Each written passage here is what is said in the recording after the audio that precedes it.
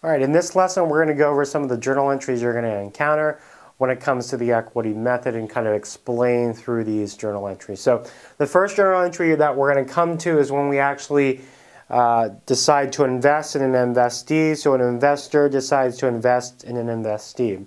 And so obviously cash or some kind of asset's going to exchange in that transaction.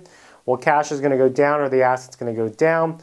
Therefore, we'll have a credit to cash and then debit to an account called investment in X Corp. And there may be different ways that we signify that, um, but the easiest way is just to say investment in X Corp, and we may put the corporation's name um, for that amount. So that's kind of the initial thought there. Um, one of the things to kind of understand is that sometimes these acquisitions can be done in cash and stock, and so we would have to make entries based on the asset that's given up or the equity that's giving up, given up in order to get or receive that investment in the investee. All right, next one would be after we've now set up that initial investment in that investee, and then they have income. So how do we report that? So with the equity method of journal entries, we are going to debit the investment in the X Corp, and we will credit an account called equity in X Corp. Now, the thing to understand about net income is as a equity method, when the company produces a profit, we will book the profit even if we don't receive any of it. So if our investee has a $100,000 net income for the period and our investment in that investee is 30%, then we would put in here $30,000 and $30,000. So what's happening here? We're increasing our investment account by $30,000. We're also increasing an equity in X Corp by $30,000 as well. Now reminder, we're not receiving any of the income necessarily.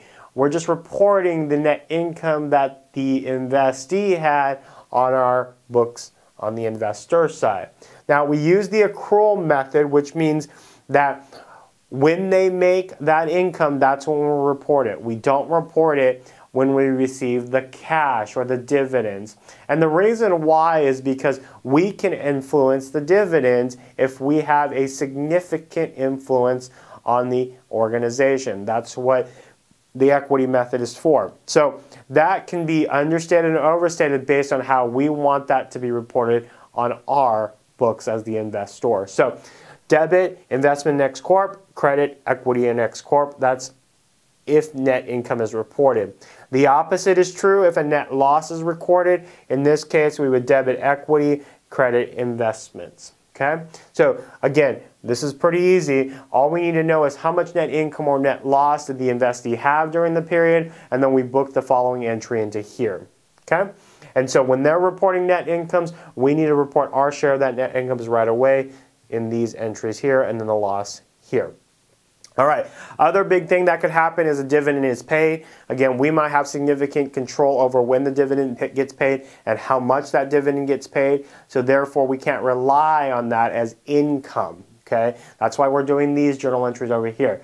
Therefore, when we receive dividends, we are going to debit dividends receivable and credit investment in X Corp. Now, let me not mislead you. When I say receive, I don't necessarily mean actually receive, but when they're declared. So when they are declared, debit dividends receivable, credit investments in X Corp. What happens? Our investment in X Corp goes down. Why does it go down? Because we're receiving the money. Therefore, we technically have less equity in the organization. Okay?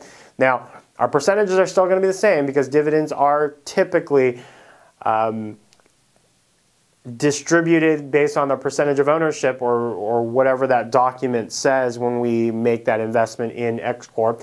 Um, but we technically reduce our investment in X Corp because we have less of it when it comes to a monetary value over here.